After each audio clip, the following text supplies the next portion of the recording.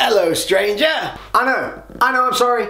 It's been a while since I've been on YouTube, but there is a very good reason. One, I've been moving house. Two, I've had the man flu. Two. And three, I've been filming a ton of stuff for the new series which is going to be coming in November, which granted is awesome for then, but not so great for now because I can't show you the stuff I'm filming now because otherwise it'd ruin it for later. But the little gap in time is going to mean you're going to have a flurry of videos coming your way in November with that new series which is going to be taking a look at a fight life, functional, fitness kind of style with some crazy goals along the way. But for now, I'm back with an all-important video because winter is around the corner. The autumnal season is here. Pumpkins are in the store next to chocolate reindeer. And that can mean only one thing. Do we decide to bulk, cut, maintain, join a cult? Hopefully I'll help you out. So let's start off with the main thing here and that is what is your focus? Do you actually want to get bigger or do you want to see your abs? This is something you need to decide because you can't do both. You gotta pick one, getting leaner or getting bigger. But you don't have to get fat to get big and you don't have to lose muscle to get shredded. And I'm gonna cover that right now and hopefully simplify things down so that you know where you wanna be this winter. So let's start with bulking, because everyone's gonna be talking about this with winter around the corner. What a lot of people do is they'll think, I wanna get bigger, which means bulking, which means calories, which then means pizza, cookies, and ice cream. But all in the wrong quantities. Because a lot of people have this habit of going into a bulking mode where they'll just eat and eat and eat. And that's all well and good and fun, but if you're eating without structure and without control, what that means is that you don't have any control over the number of calories going in in a day, you don't have control of the breakdown of those calories. And that means you're going to put on excessive fat which means later down the line you're going to have to lose that fat which is going to suck. Factor number two of going on a dirty bulk is the fact that you're kind of eating just relentlessly. And you're not really eating to any structure so then when you go from that to have to go into a cutting phase, which is gonna be rigid, strict, and require constant monitoring, you're probably gonna hate life. It's gonna be hard because you've not had that structure previously, and chances of you falling off the wagon, failing, quitting, having a bad day are gonna increase exponentially. So what's the solution to this?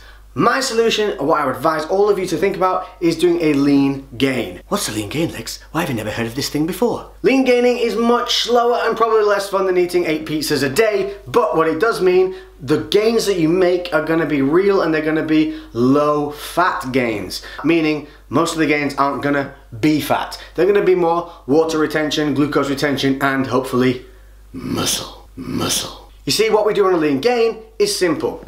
You increase your calories so that you go into a surplus compared to your lifestyle and activities, which you need to know. Once you know the maintenance level for that lifestyle, increase your daily calories by starting out just 250 extra calories a day. You weigh yourself over a 7 day period, taking an average of that 7 day period. You then carry on into the next week, you measure the two averages together and you see if your weight's gone up, down or stayed the same.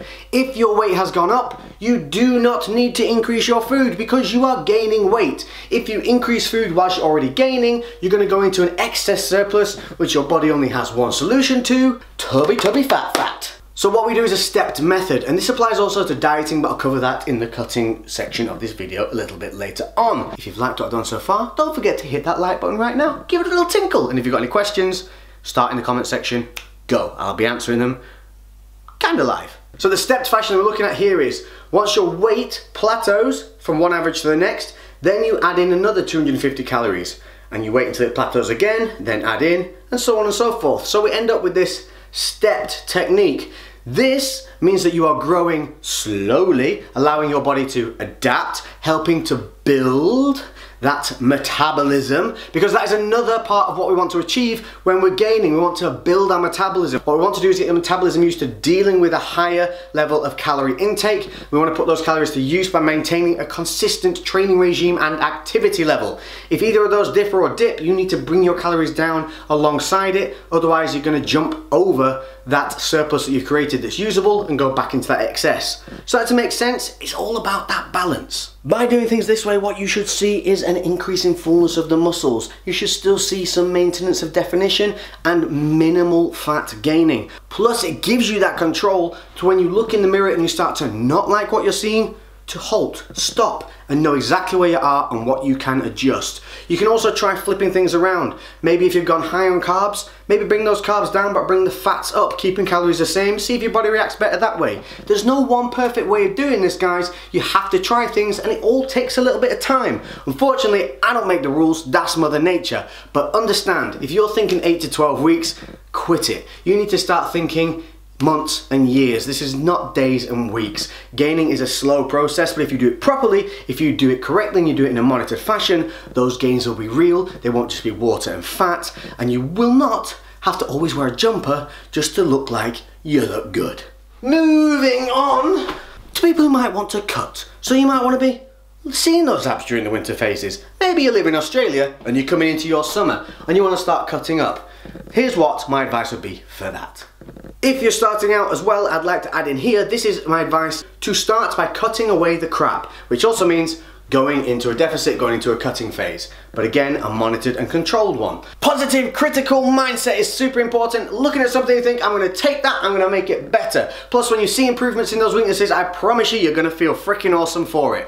So by stripping down or going into a cutting phase, we're gonna really show what's underneath by cutting away unnecessary weight or bad weight and taking ourselves down to the basic frame that we are, the kind of roundabout where you can just see your abs. That's a decent level of leanness. At that point, you'll be able to really see where your strength strengths and more importantly where your weaknesses lie. You need to look at yourself in a positive critical state. That means taking a look at yourself and deciding this isn't the best on me and I'm gonna fucking improve it. Not looking at yourself and going, oh that sucks. Oh my genetics are rubbish. Oh, I wish I started earlier. Oh, I wish I could fly and lived in a lamp like a genie. So, how do we go into such a cutting phase? You're going to do the same thing as you do for the lean gain in that stepped mechanism. You're going to use a monitored diet, so you're going to need to know where your maintenance levels are and where your activity levels are. What you don't want to be doing is throwing all your cardio in this at once. What a lot of people tend to do is they tend to cut food, increase cardio, and go balls out, then they burn out, fall off, order Domino's, and they eat the Domino's every day, and then they end up getting tubby. So what you're going to do is you're going to num num feed the fat loss. That's right, feed it. The goal of losing weight is to eat as much as possible while still dropping weight on the scales and looking better in the mirror. So, what we need is to know a maintenance level and your activities. Once you have this, what you're gonna do is stay at maintenance and you're gonna increase your activity levels. Use that cardio and that activity time, which again you need to be monitoring, as a way to increase calorie output, which will then put you in a deficit that you are monitoring. Keep your sports in, keep your running in, swimming, playing out with mates at football, soccer, Sunday leagues, whatever it may be, fight classes, go and join one. If you are fitter, you're a better machine, you'll be able to deal with more food and more calories, is gonna make you happier. You're gonna be able to deal with days off, days missed, and sickness and illness. And that goes for gaining or cutting phases. Once your cardio is at a maximum level, as you're like, that's enough of that shit, then you can start bringing the food levels down. Keep that protein dominant, but then between the carbs and the fats, it's up to you. Personally, I've gone high fat, lower carb. Now it's not keto because I'm still on 150 grams of carbs, but I'm following that alongside with 150 grams of fat. Prior to this, at my maintenance levels, I was at around about 3 to 400 grams of carbohydrate and around 60 to 70 fat. So a real flip, but I've found that it has curbed hunger, it's helped my temperament stay more leveled out because I'm not having those crashes, and in the gym, I do look a little bit less kind of bloaty, I look a little bit drier, and during the day, I'm not having those moments where when I eat my meals, I'm getting distended stomach from all the carbohydrate intake. So for me, the high fat has been fantastic, it's curbed my sweet tooth, and to snack on things like nuts and everything like that that are small volume, high impact, also helps me get my meals in because I'm a notorious under eater. So if you're an under eater, for gaining or cutting, this is going to help you. Putting in more calories through fats is going to be easier because you get over double the calories per gram with fats than you do for carbs. What you're looking for is those seven day averages. You're gonna weigh in seven days, clock each weight. You're not gonna care what it is, you're just gonna log it down. You're gonna take an average of your weight over the week. You do the same for your second week. If your weight has gone down, then you keep everything the same. You only change when things plateau, and once things plateau, your choice is up your activity or drop the food. Personally, I would always go for up the activity until you get to that maximal point, then start playing with the food. But we're going to go for that stepped mechanism, but rather than going up the staircase, we're going to be going down the staircase. So once you plateau out, then you up cardio or drop food until you see that drop in weight. Then when that plateau occurs again, that's what you do, that little step, that little reduction, activity up or food down, but not both, because then you're losing control.